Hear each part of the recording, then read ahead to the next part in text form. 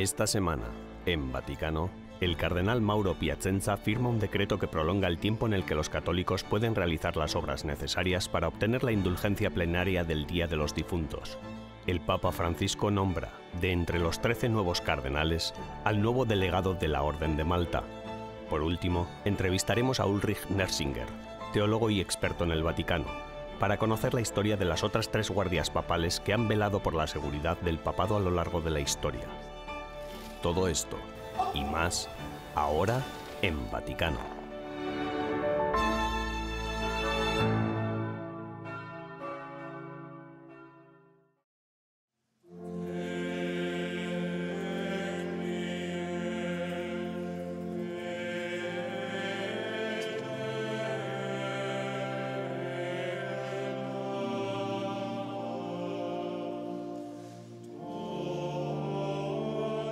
Mes de noviembre comienza con el Día de los Fieles Difuntos y sigue con la conmemoración de todas las almas fallecidas.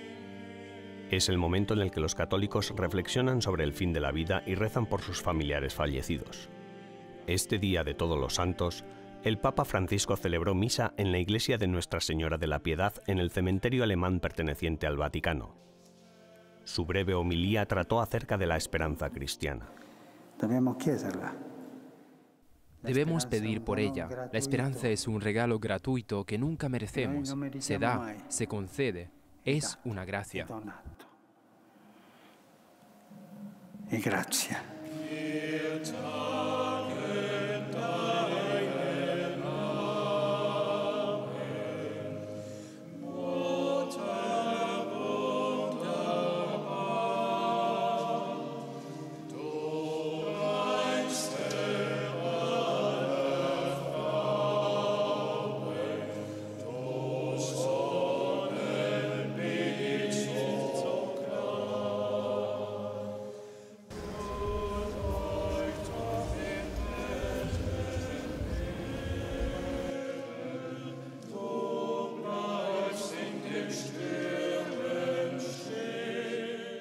Después de la misa, el Papa rezó allí mismo ante las tumbas del cementerio, para luego hacerlo de nuevo en las grutas del Vaticano, ante las tumbas de los pontífices fallecidos.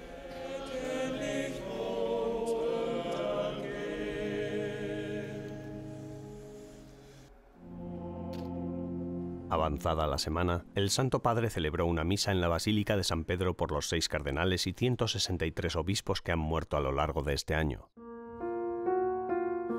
La agencia de noticias de WTN, Catholic News Agency, informa de que entre el 25 de marzo y el 31 de octubre se cuentan al menos 13 obispos fallecidos después de contraer COVID-19, incluyendo el arzobispo en Filipinas Oscar Cruz, el obispo en Inglaterra Vincent Malone y el obispo auxiliar de Boston Emilio Allue.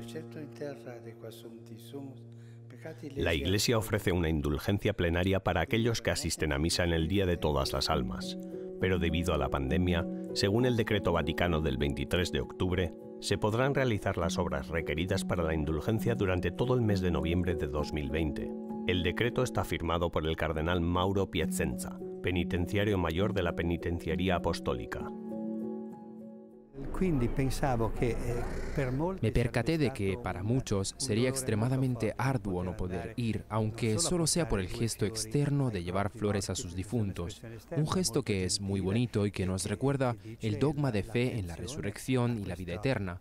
Y debido a que la indulgencia plenaria está ligada a un día específico, el 2 de noviembre, pensé que sería bueno prorrogarla. Ahora, según el nuevo decreto, los fieles tienen todo el mes de noviembre para visitar el cementerio y rezar por los difuntos para cumplir con los requisitos de la indulgencia. Se puede. Sin lugar a dudas es fundamental. Es decir, no se puede recibir la indulgencia si no se cumplen los requisitos. Hay que confesarse dentro de los ocho días cercanos a la festividad, bien unos días antes o bien unos después. Hay que recibir la comunión eucarística y sobre todo, fundamentalmente, hay que disponer de un corazón totalmente desapegado del pecado y de todos los afectos pecaminosos. Todo eso es lo que se necesita, también respecto de los pecados veniales, no solo de los mortales. No soltanto dei peccati mortali.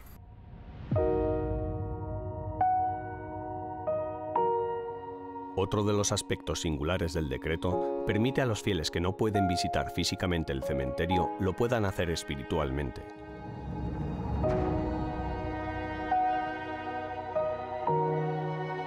Esto también permite a todos los enfermos, ancianos y confinados participar en la indulgencia desde sus casas, siempre y cuando cumplan las condiciones de la indulgencia ante una imagen de Jesús o María, mientras recitan oraciones como el rosario o la coronilla de la Divina Misericordia por los difuntos.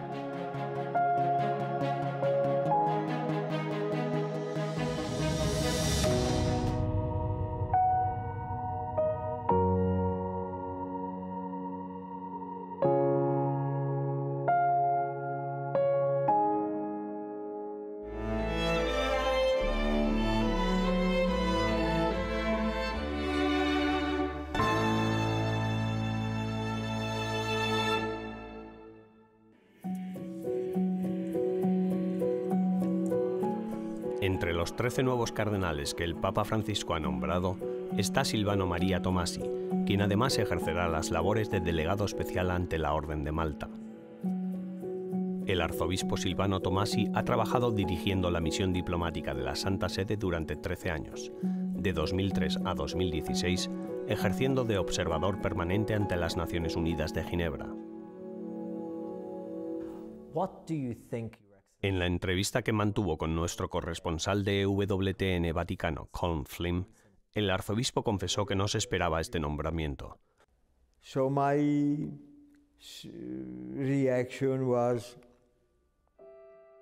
Mi reacción fue agradecer al Papa ese gesto de confianza, pero siendo honesto también pensé que el nombramiento era una señal que el Santo Padre otorgaba a la familia religiosa a la que pertenezco, pues durante más de 100 años hemos estado trabajando con migrantes y refugiados. El Papa Francisco está muy sensibilizado con este asunto y a menudo habla de ello. Lo segundo que pensé fue que el Papa Francisco quiere destacar la importancia de la nueva diplomacia de la Santa Sede en la acción multilateral. El hecho es que es importante que la Santa Sede esté presente en la escena internacional de la diplomacia multilateral y contribuya con sus valores de humanidad, de respeto a la persona, de igualdad y de sensibilidad a las diferencias de cultura y raza, con esos valores que ayudan a construir una forma pacífica de estilos de vida y actitudes que vemos hoy en la sociedad.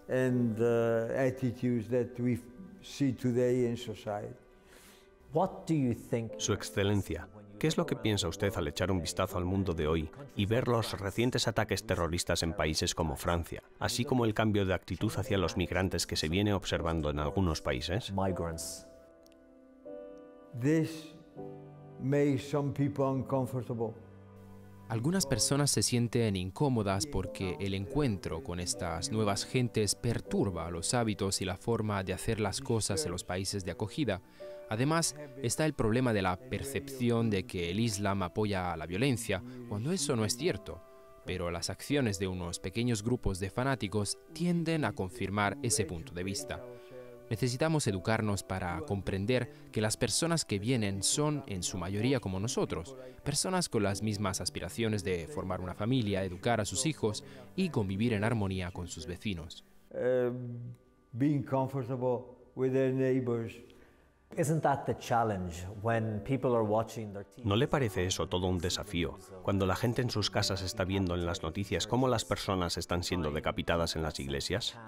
Tratar de mantenerse fríos, racionales y calmados mientras ven esas situaciones debe ser complicado para ellos. Y quizás sea eso lo que les lleva a pensar cosas como detengan la inmigración o bloqueen el Islam. Es algo muy, muy difícil de abordar, ¿no cree? Yes, I think we Sí, creo que no debemos ignorar los sentimientos de la gente, porque si los ignoramos no podremos llegar a un diálogo ni a una eventual solución a estos problemas.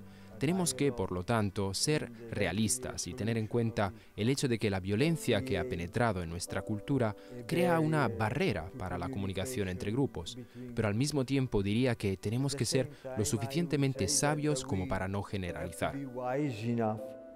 Not to generalize. Cuando usted habla de diálogo, pienso y me pregunto por los 13 años que ha trabajado en las Naciones Unidas de Ginebra. Habrá sido todo un desafío representar a la Iglesia y sus enseñanzas cuando a menudo entrarían en conflicto con las enseñanzas, las políticas y los consejos de las Naciones Unidas. ¿Es así? ¿Le supuso un desafío? Was that a great challenge for you? Yes, Sí, para ser muy breve, my task was to explain Mi tarea era explicar de manera razonable la posición de la Santa Sede. La Santa Sede defiende valores que, a la larga, se consideran buenos para toda la familia humana, independientemente de las creencias religiosas específicas. Decimos que defender la vida es bueno para la familia humana. Siempre es bueno defender la vida, independientemente de si eres budista, musulmán o cristiano. it's always good to defend life. Su Excelencia, ha sido un placer hablar con usted. Muchas gracias por su tiempo y buena suerte en sus nuevas funciones. Muchas gracias a ti. Si Dios quiere, será otro capítulo en una larga vida. Y un buen capítulo además. Gracias.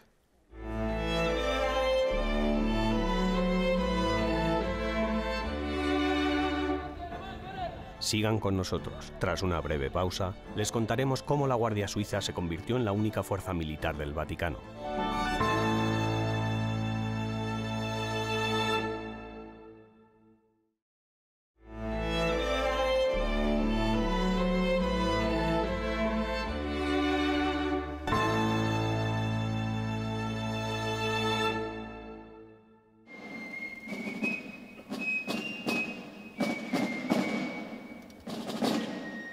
Pontificia Guardia Suiza es el ejército más pequeño del mundo. Ha tenido el privilegio de proteger al pontífice romano durante siglos. Pero, ¿sabían ustedes que hasta 1970 el Papa tenía otros tres cuerpos de guardia a su servicio?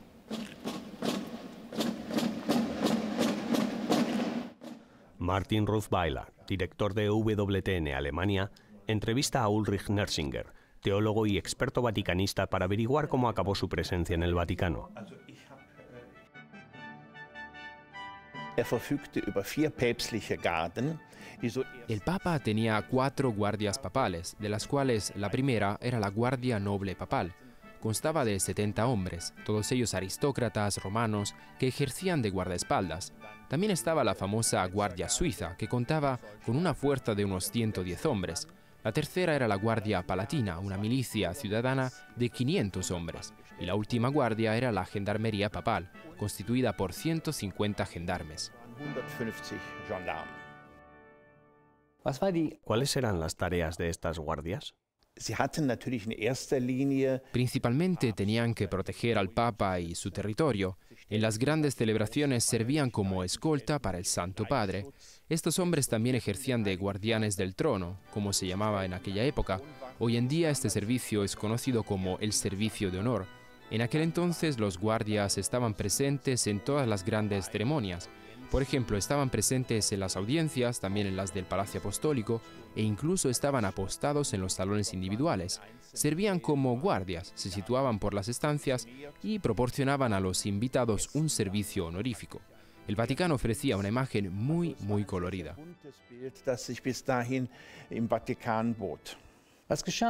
¿Qué ocurrió el 14 de septiembre de 1970?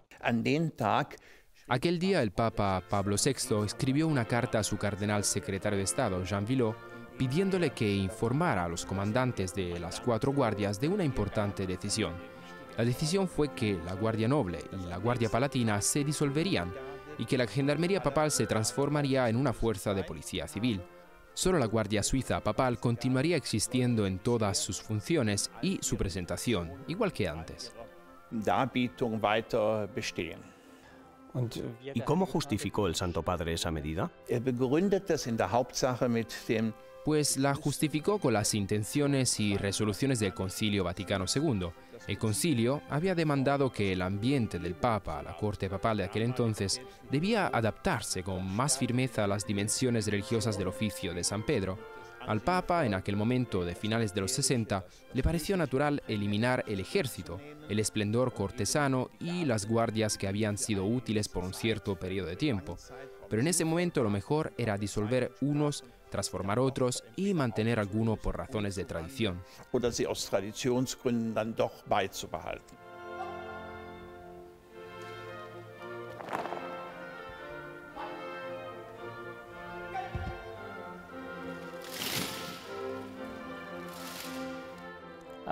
Pero las guardias que disolvió no eran ejércitos inútiles, ¿verdad? No, para nada, no se deberían considerar así. Existe la posibilidad de ver a los guardias como ejércitos inútiles con sus coloridos uniformes, que tanta impresión causaban en la gente. Pero conviene señalar cómo, por ejemplo, especialmente en la Segunda Guerra Mundial, la Guardia Palatina ostentó una función muy importante.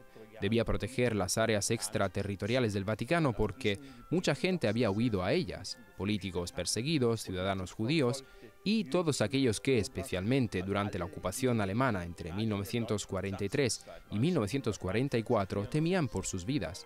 Y aún podemos mirar más atrás en la historia. El revolucionario año de 1848, el Papa tuvo que huir de Roma porque estaba en peligro en el Palacio del Quirinale, donde residía en ese momento. Una multitud de personas que se habían levantado amenazó con asaltar el palacio y un pequeño grupo de la Guardia Noble y la Guardia Suiza consiguieron proteger al Papa y detener la más que probable invasión. dass der Papst geschützt wurde, dass der Palast nicht erstürmt wurde.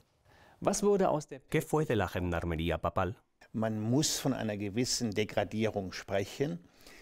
Esta guardia padeció una cierta degradación, fue reducida a la llamada vigilanza, es decir, a un escuadrón de guardia. Ese cambio también se podía apreciar en su uniforme. Anteriormente tenían un uniforme espléndido, el uniforme de gala era de corte napoleónico, con un gorro alto de piel de oso, realmente grande. Al principio del cambio usaban ropa burguesa, pero después se les dio una gorra con visera. Los propios guardias comenzaron a sentirse como guardias de seguridad nocturnos. Así, la guardia había sido completamente degradada. Después de muchos años resultó evidente que aquello no podía continuar porque la gendarmería papal acabó por desarrollar un sentimiento de inferioridad. Se decidió que recuperarían su antiguo nombre, no el de gendarmería papal, sino el de gendarmería del Vaticano, y que también se les daría un uniforme que era más parecido al antiguo.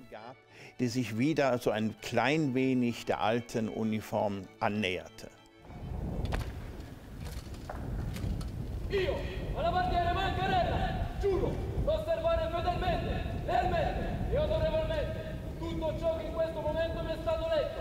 Che Dio e i nostri santi patroni mi assistano.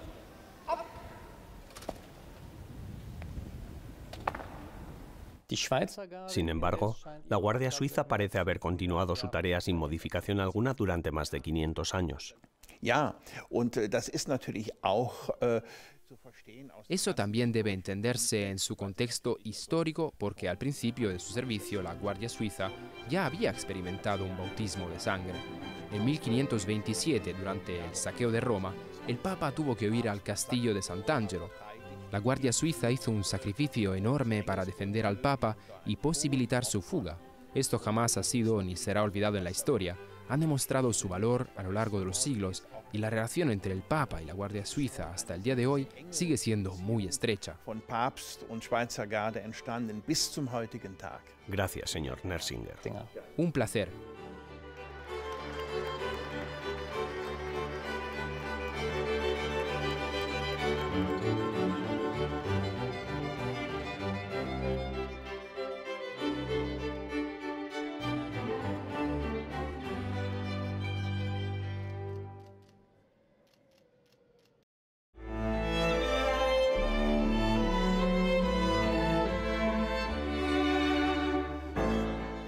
La pausa, recordaremos al Papa Juan Pablo II a través de la lente de la cámara de fotos de Giancarlo Giuliani, fotógrafo de la Casa Papal durante 27 años.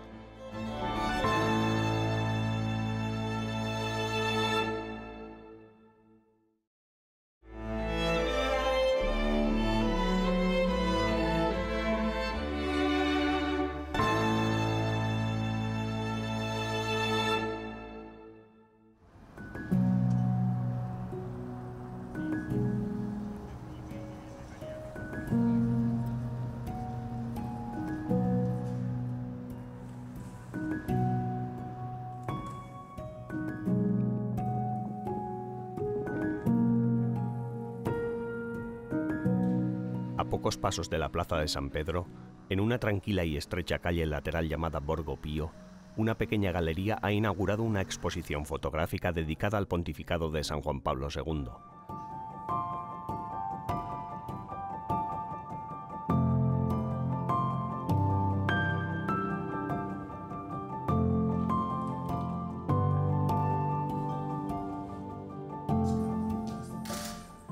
Giancarlo Giuliani fotografió al admirado Papa durante 27 años.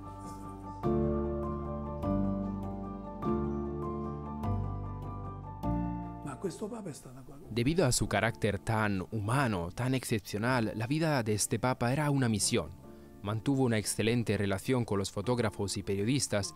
También creo que cuando se sabía en medio de las grandes ceremonias, las más bellas, especialmente las Jornadas Mundiales de la Juventud, con toda aquella cantidad de jóvenes alrededor, a veces llegaba a aliarse con nosotros los fotógrafos. Yo lo acompañaba, llegué a cubrir 103 de sus 104 viajes al extranjero, hermosos recuerdos. Gracias a su trabajo, Giancarlo conoció a Juan Pablo II, no solo en los eventos públicos, sino también en los privados, como cuando iba a hacer senderismo por las montañas y pasaba los veranos en Castel Gandolfo.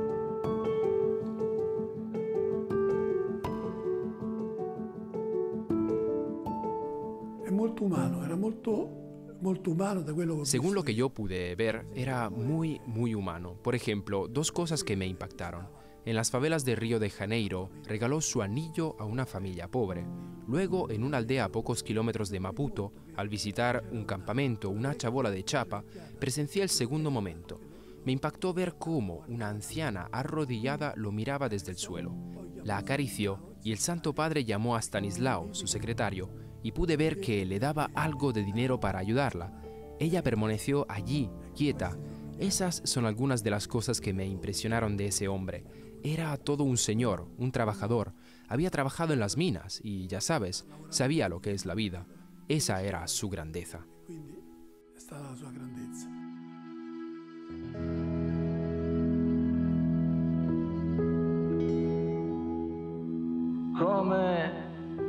Non essere grati a questo Dio che ci ha redenti spingendosi fino alla follia della croce, a questo Dio che si è messo dalla nostra parte e vi è rimasto fino alla fine. Cada una de estas fotos esconde su propia historia.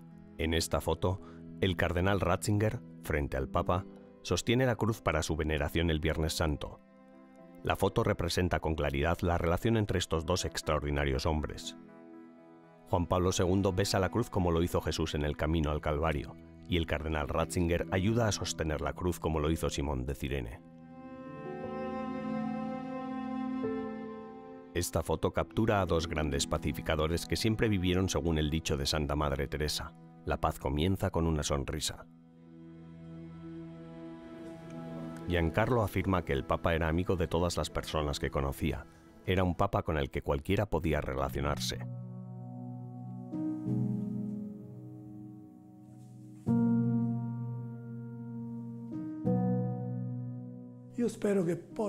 Espero que las fotos reaviven el interés por algunos momentos que a lo mejor logré inmortalizar para recordar a este gran hombre. Además de las fotografías, también hay diversos materiales del papado de Juan Pablo II, incluyendo las catequesis que, desde 1982, escribía semanalmente de su puño y letra. La exposición en la Galería de Arte Poli, inaugurada el 16 de octubre, aniversario de la elección de Juan Pablo II como Papa, permanecerá abierta hasta el 2 de abril de 2021, decimosexto aniversario de la muerte del santo.